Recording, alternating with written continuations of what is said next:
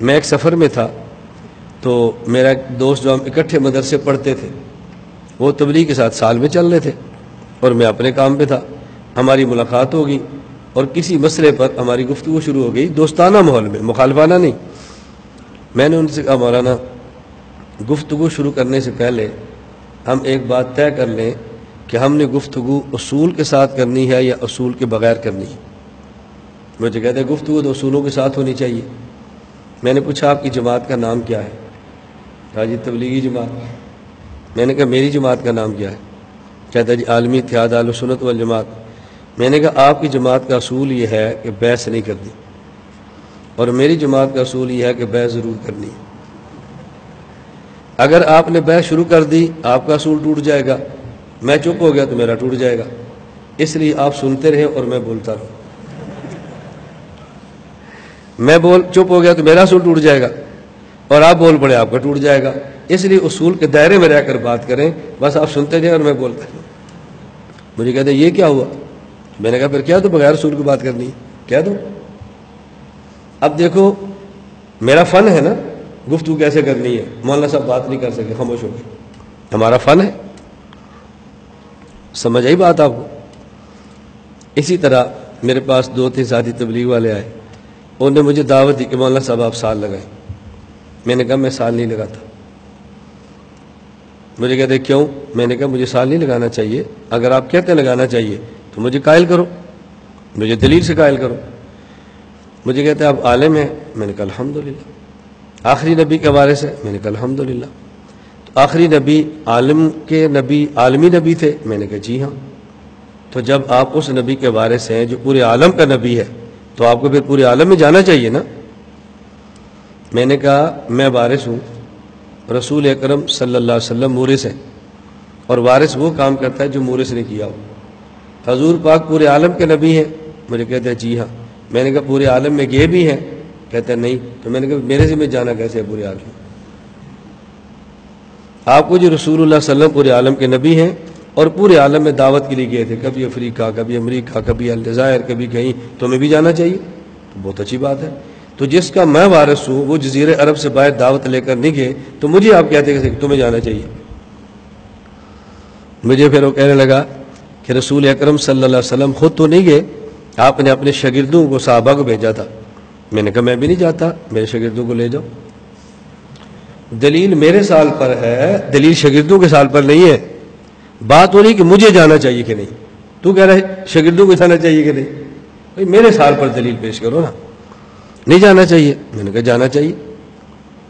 مجھے جانا اس پر دلیل پیش کرو، بس۔ اب جب وہ زچ ہو گیا، بات نہ کر سکا، میں نے کہا، دیکھو، آپ سے غلطی ہوئی ہے۔ وہ غلطی نہ ہوتی، آپ کو یہ شرمندگی نہ اٹھانی پڑتی۔ غلطی آپ کی ہے کہ آپ تبلیغی جماعت سے منسلک ہیں۔ آپ کا مرکز رائے میں ہے۔ رائے کے کابر کا اصول یہ ہے، علماء کو دعوت نہیں دینی، علماء کو کارگزاری سنانی ہے۔ تو نے اپنا اصول توڑا نا، تو نے کارگزاری کی بجائے مجھے دعوت دی۔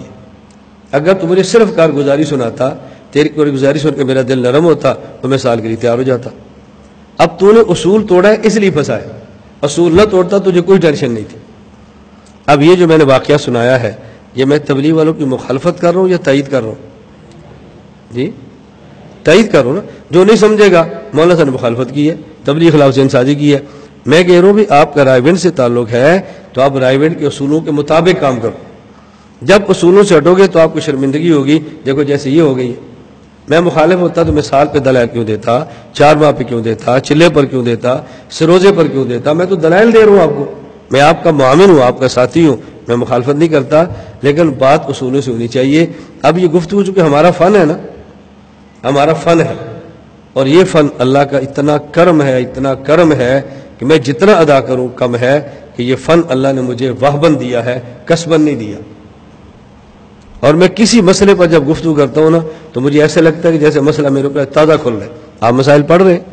عقیدے کا مشکل سے مشکل مسئلہ۔ میں جب شروع ہو جاتا ہوں، تو مجھے ایسے لگتا ہے کہ جیسے خود بخود الفاظ زبان پر آ رہے ہیں اور مجھے محنت نہیں کرنی پڑتی۔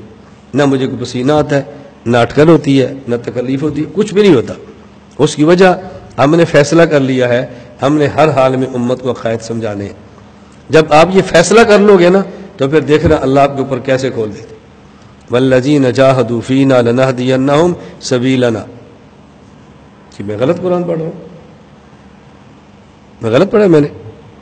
ٹھیک کیا ہے۔ ولجی نجاہدو فینا لنہدینہم سبولنا اللہ سبیلنا فرماتے تو ہمارے دروازے بند تھے۔ اللہ نے سبولنا فرما کر ہمارا دروازہ بھی کھولا ہوا ہے۔ نہیں سمجھے تو۔ جب آپ کو لحاظی سبیلی کہہ کر باقی دروازے بند کرتے ہیں نا، اللہ نے سبولنا کہہ کر ہمارا دروازہ بھی کھول دیا۔ ایک سبیل نہیں سوبل ہے سوبل وہ سمجھ آئی میری بات آپ کو؟ دل تھوڑا سا بڑا رکھو، وسعت پیدا کرو، وسعت۔ آپ دیکھو کام میں لطف کتنا آتا ہے۔ بڑے کام کے لیے بڑے دل چاہیے اور بڑے کام چھوٹے دلوں سے نہیں ہوتے۔ اللہ تعالیٰ مجھے اور آپ کو یہ بات سمجھنے کی توفیق عطا فرمائے۔ تو آج کی مجلس میں میں نے ایک ہی بات سمجھائی ہے کہ فن میں اہل فن پر اعتماد کریں، وہ چھوٹا ہو یا یہ ذہن بنا لیں، انشاءاللہ کبھی آپ کو ٹینشن نہیں ہوگی، اشکالات ختم ہو جائیں گے۔